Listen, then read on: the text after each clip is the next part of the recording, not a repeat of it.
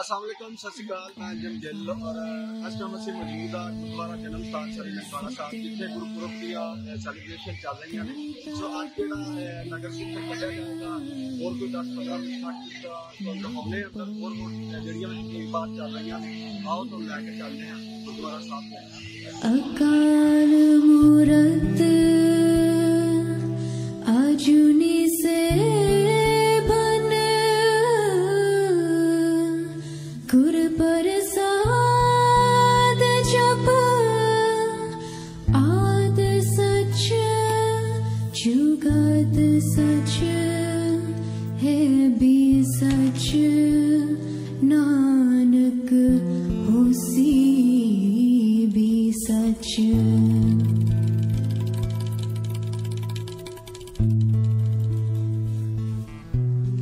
549 years ago, humanity was blessed with the birth of our founding Guru, Guru Nanak Dev Ji.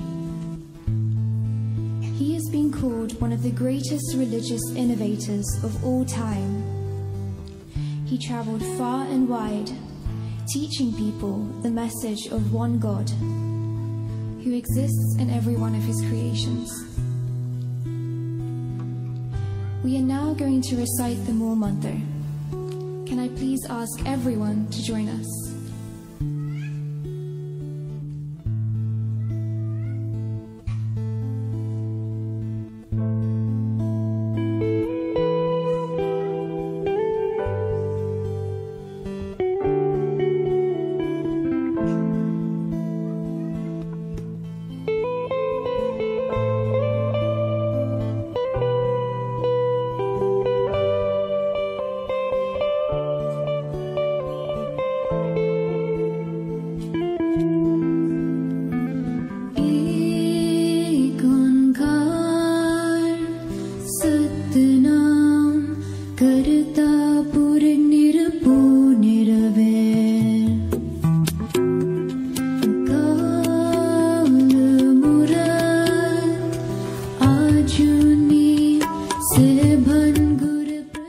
ਭਾਜੀ ਸਤਿ ਸ਼੍ਰੀ ਅਕਾਲ। ਸਤਿ ਸ਼੍ਰੀ ਅਕਾਲ ਜੀ ਹੋਰ ਹੰਜਮ ਭਾਈਜਾਨ ਠੀਕ ਠਾਕ ਹੋ?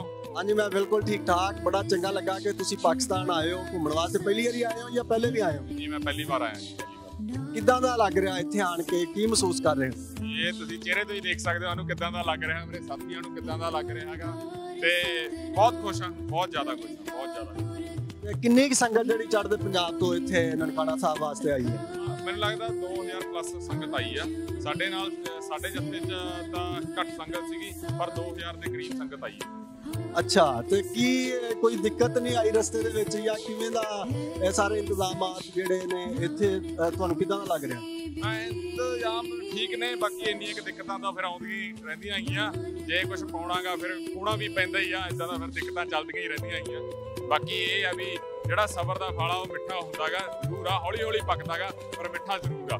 ਤੇ ਮੈਂ ਤੁਹਾਡੇ ਪ੍ਰੋਗਰਾਮ ਵੇਖਦਾ ਰਹਿਣਾ ਵਾ ਤੁਸੀਂ ਇੰਨੇ ਸਖਤ ਸਵਾਲ ਕਰਦੇ ਹੋ ਪੋਲੀਟੀਸ਼ੀਅਨ ਨੂੰ ਔਰ ਆਮ ਲੋਕਾਂ ਨੂੰ ਜਦੋਂ ਤੇ ਕੀ ਮੁਸ਼ਕਲਾਂ ਤਾਂ ਨਹੀਂ ਆਉਂਦੀਆਂ? ਕਿਵੇਂ ਐਵੇਂ ਦੇ ਸਵਾਲ ਕਰ ਲੈਂਦੇ ਹੋ ਤੁਸੀਂ?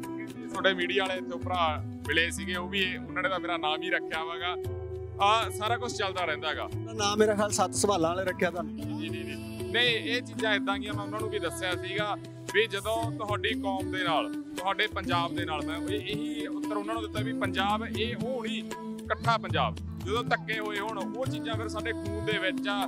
ਤੇ ਇਹ ਵੀ ਆ ਵੀ ਪੰਜੇ ਉਂਗਲਾਂ ਇੱਕੋ ਜਿਹੀਆਂ ਨਹੀਂ ਹੁੰਦੀਆਂ। ਜਿੱਥੇ ਮਾੜੇ ਇਨਸਾਨ ਨੇ, ਉੱਥੇ ਚੰਗੇ ਇਨਸਾਨ ਵੀ ਆ। ਤੇ ਹੌਲੀ ਹੌਲੀ ਪੁਰਾਣੇ ਸਮਿਆਂ ਤੋਂ ਹੀ, ਜੇ ਅਸੀਂ ਸਿੱਖ ਇਤਿਹਾਸ ਦੀ ਗੱਲ ਕਰਦੇ ਹਾਂ, ਸਿੱਖਾਂ ਦਾ ਇਤਿਹਾਸ ਹੀ 550 600 ਸਾਲ ਪੁਰਾਣਾਗਾ ਉਦੋਂ ਵੀ ਮਾੜੇ ਲੋਕ ਹੁੰਦੇ ਸੀ। ਇਹ ਨਹੀਂ ਵੀ ਹੁਣ ਆ ਜਾਂ, ਹੁਣ ਰਾਜਨੀਤਿਕ ਲੋਕ ਉਵੇਂ ਕਰਦੇ ਨੇ। ਪਹਿਲਾਂ ਕਿਤੇ, ਪਹਿਲਾਂ ਵੀ ਇਦਾਂ ਧੱਕੇਸ਼ਾਹੀ ਚੱਲਦੀ ਰਹੀ ਆ। ਪਰ ਜੇ ਅਸੀਂ ਨਾ ਪੁੱਛਾਂਗੇ, ਫਿਰ ਪੁੱਛੂਗਾ ਬਈ ਕੌਣ?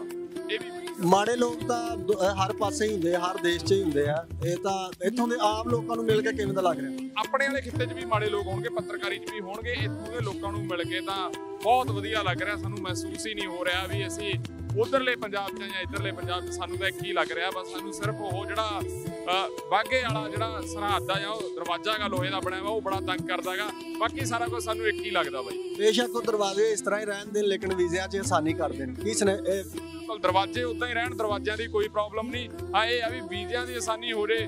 ਫੇਰ ਵਧੀਆ ਹੈ, ਇਧਰਲੇ ਭਰਾ ਉਧਰ ਜਾਣ, ਇਧਰਲੇ ਉਧਰ ਆਉਣ। ਇਹੀ ਆ, ਚੜ੍ਹਦੇ ਵਾਲੇ ਲਹਿੰਦੇ ਨੂੰ ਮਿਲ ਲਹਿੰਦੇ ਵਾਲੇ ਚੜ੍ਹਦੇ ਨੂੰ ਮਿਲ ਫਿਰ ਬਾਗੋ ਬਾਗ ਆ, ਸਾਰੇ ਖੁਸ਼ ਆ ਕਿਉਂਕਿ ਲੋਕਾਂ ਨਾਲ ਅਸੀਂ ਇੱਥੇ ਆਮ ਗੱਲ ਕਰਦੇ ਆ ਲੋਕ ਪੁੱਛਦੇ ਨੇ, ਤੁਸੀਂ ਕਿਹੜੇ ਜ਼ਿਲ੍ਹੇ ਤੋਂ, ਕਿਹੜੇ ਪਿੰਡ ਤੋਂ ਸਾਡੇ ਬਜ਼ੁਰਗ ਉੱਥੋਂ ਆਉਂਦੇ ਸੀ?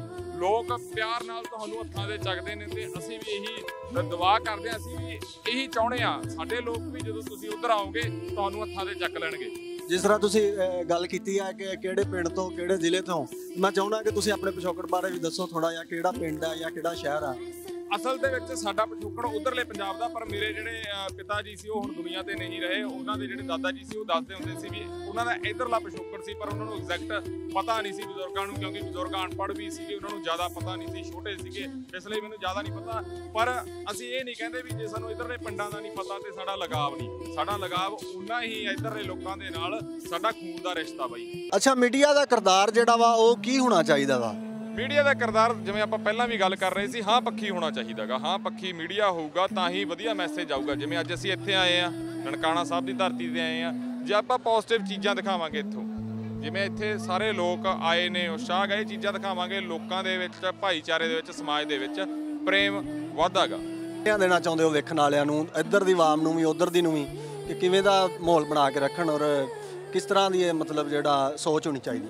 ਜੀ ਸਨੇਹਾ ਤਾਂ ਸਿਰਫ ਇਹੀ ਆ ਵੀ ਦੋਵੇਂ ਪੰਜਾਬਾਂ ਦੇ ਵਿੱਚ ਇੰਨਾ ਪਿਆਰ ਹੋਣਾ ਚਾਹੀਦਾ ਵੀ ਲੋਕਾਂ ਨੂੰ ਇਹ ਨਾ ਲੱਗੇ ਵੀ ਦੋਨੇ ਅਲੱਗ-ਅਲੱਗ ਮੁਲਕ ਨੇ ਇਦਾਂ ਹੀ ਲੱਗੇ ਵੀ ਇੱਕ ਹੀ ਮੁਲਕ ਆ ਤੇ ਦੋਨੇ ਭਾਈ ਜਿਵੇਂ ਘਰ ਦੇ ਵਿੱਚ ਕੰਧ ਨਿਕਲ ਜਾਂਦੀ ਹੈ ਨਾ ਵੀ ਕੰਧ ਦਿਖੇ ਹੀ ਨਾ, ਚਾਹੇ ਉਹ ਨਿਕਲੀ ਵੀ ਆ, ਦਿਖੇ ਨਾ ਤੇ ਇੱਕ ਬੂਹਾ ਜਿਹੜਾ ਲੱਗਿਆ ਵਾ, ਬੂਹਾ 24 ਘੰਟੇ ਖੁੱਲਾ ਰਹੇ ਉਧਰਲੇ ਇੱਧਰ ਆ ਸਕਣ ਇੱਧਰਲੇ ਉਧਰ ਆ ਸਕਣ, ਫਿਰ ਤਾਂ ਹੀ ਪਿਆਰ ਵਧੂਗਾ ਇੱਕ ਖਾਸ ਤੌਰ ਦੇ ਉੱਤੇ। ਉਹਨਾਂ ਲੋਕਾਂ ਨੂੰ ਜ਼ਰੂਰ ਸੰਦੇਸ਼ ਆ ਜਿਹੜੇ ਪਾਕਿਸਤਾਨ ਦੇ ਲੋਕ ਆਪਣੇ ਧੀਆਂ ਪੁੱਤਾਂ ਨੂੰ ਖਾਸ ਕਰਕੇ ਯੂਕੇ ਦੇ ਵਿੱਚ, ਕੈਨੇਡਾ ਦੇ ਵਿੱਚ ਜਾਂ ਅਮਰੀਕਾ ਦੇ ਵਿੱਚ ਜਾਂ ਉਧਰਲੇ ਪੰਜਾਬ ਦੇ ਲੋਕ ਭੇਜਦੇ ਨੇ, ਉਹ ਇੱਥੇ ਵੀ ਜ਼ਰੂਰ ਵਿਜ਼ਿਟ ਕਰਾਉਣ ਕਿਉਂਕਿ ਆਪਣੀ ਧਰਤੀ ਦੇ ਨਾਲ ਤਾਂ ਹੀ ਬੱਚੇ ਜੁੜਨਗੇ, ਆਪਣੇ ਜੜਾਂ ਦੇ ਨਾਲ ਤਾਂ ਹੀ ਜੁੜਨਗੇ। ਜੋ ਪੁਰਾਣਾ ਸੱਭਿਆਚਾਰ, ਪੁਰਾਣਾ ਕਲਚਰ ਜਾਂ ਪੁਰਾਣੇ ਆਪਣੇ ਜਿਹੜੇ ਧਾਰਮਿਕ ਸਥਾਨ ਨੇ ਜਿਹੜੇ ਪੰਜਾਬੀ ਜ਼ਬਾਨ। ਪੰਜਾਬੀ ਜ਼ਬਾਨ ਆ ਪੰਜਾਬੀਅਤ ਆ ਤਾਂ ਹੀ ਆਪਾਂ ਵਧੇਗੀ ਫੁੱਲੇਗੀ ਤਾਂ ਹੀ ਵਧੀਆ ਇੱਕ ਸੋਹਣਾ ਪੰਜਾਬ ਆਪਾਂ ਲੋਕਾਂ ਦੇ ਰੂਬਰੂ ਕਰ ਸਕਦੇ ਹਾਂ। ਜੀ। ਚਲੋ ਬਹੁਤ ਸ਼ੁਕਰੀਆ ਤੁਹਾਡਾ ਗੱਲਬਾਤ ਕਰਨ ਲਈ। ਸਾਡੇ ਨਾਲ ਸਨ ਰਤਨ ਧਾਲੀਵਾਲ ਸਾਹਿਬ ਬਹੁਤ ਵਧੀਆ ਗੱਲਬਾਤ ਉਹਨਾਂ ਨੇ ਕੀਤੀ। ਸੋ ਬਹੁਤ ਵਧੀਆ ਮੈਸੇਜ ਦਿੱਤਾ ਸਾਰਿਆਂ ਨੂੰ। ਸੋ ਮਿਲਦੇ ਹਾਂ ਕਿਸੇ ਨਵੇਂ ਪ੍ਰੋਗਰਾਮ ਦੇ ਨਾਲ। ਰੱਬ ਰਾਖਾ।